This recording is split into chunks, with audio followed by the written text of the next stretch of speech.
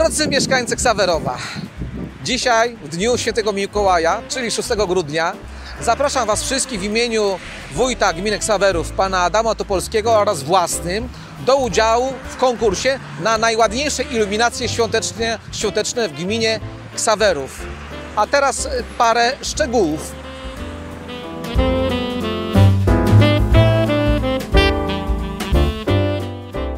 Czekamy na Wasze zgłoszenia, które można składać w Urzędzie Gminy do 27 grudnia 2021 roku. Konkurs dotyczy iluminacji świątecznych budynków mieszkalnych jedno- bądź wielorodzinnych i lub ogrodów oraz iluminacji świątecznych zlokalizowanych na balkonach.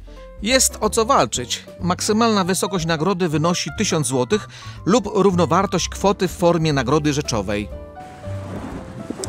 A teraz zaproszę specjalnego gościa, który włączy dzisiaj pierwszą iluminację świąteczną Gminnym Domu Kultury z Biblioteką w Ksawerowie.